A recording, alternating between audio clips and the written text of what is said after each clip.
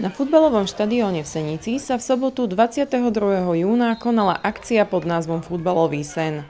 Ako názov napovedá, počas celého dňa si návštevníci mohli vychutnať futbalové zápasy v rôznych kategóriách.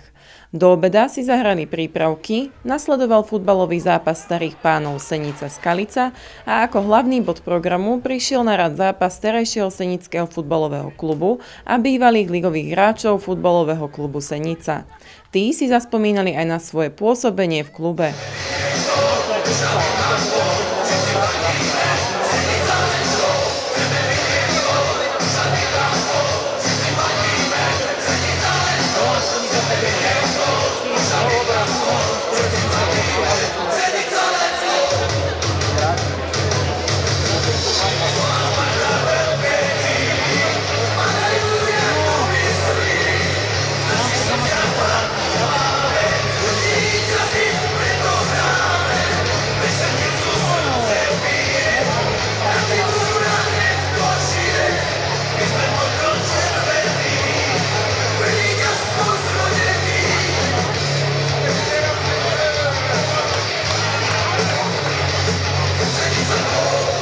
Spomienky sú veľmi príjemné, predsa sme sa tu zišli aj dobrá partia.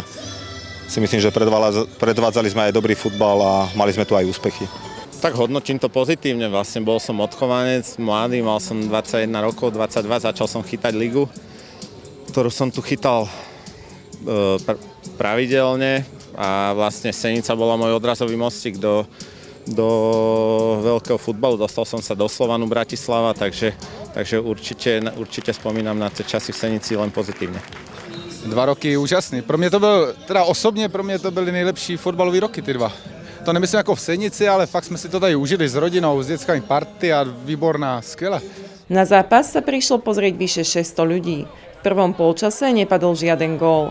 Zápas však nakoniec skončil 0-2 pre bývalých ligových futbalistov. Diváci sa dočkali aj povestného autu od Tomáša Strnada, hoci si naň pred zápasom úplne neveril. Já už nevím, jestli tam vůbec doběhnu, takže moc nemám natrénováno, takže když náhodou se tam někdo ocitnu, tak možná, možná to zkusíme, ale zkoušel jsem si teď přirostit a už to tak daleko nelítá. No. Na otázku, aké atribúty by mal mať dobrý futbalista, odpovedali bývalí aj súčasní futbalisti jednoznačne. Je to o hlave. V dnešnej dobe určite asi správne nastavenú hlavu, rýchlosť a myslím si, že takú pracovitosť na samom sebe, aby sa rozvíjal a nikdy sa neuspokojil. Já myslím, že dneska jich je víc, než když jsem hrál já. Já myslím, že dneska hlavně, hlavně by měli pracovat i s tou mentální stránkou a ne, nejenom tou výkonnostní, protože o té se už docela dost a, a hodně se to propojilo s atletikou, myslím, a, a hodně to šlo do rychlosti a leh, lehký jsou ty hráči na hřišti, než když jsme hráli, si myslím, pro to srovnání, ale ale ta mentalita, ten rozvoj, který tam dneska dávají, myslím si, že tam patří a u nás tam třeba ještě tak nebyl. No. A čo by zaželali senickému futbalu? Celú sezónu som chodeval na domáce zápasy, hrali dobre, postupili, takže do ďalších bojí držím veľmi palce, aby aby išli z roka na rok vyššie a vyššie, aby dotiahli do Senice aspoň minimálne tú tretiu, štvrtú ligu. Tak na jednej strane je to smola, že to takto dopadlo, lebo je tu krásny areál, všetko vybudované. E,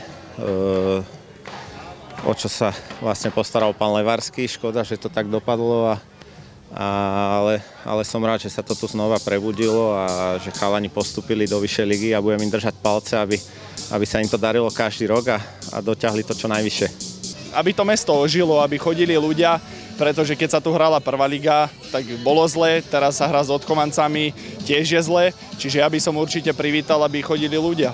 Vstupné z podujatia, ktoré bolo minimálne 1 euro, bolo venované dennému stacionáru Svetluška v Kunove. Spolu bolo vyzbieraných vyše 600 eur. Akcia sa náramne vydarila, o čom svedčí aj hojná účasť.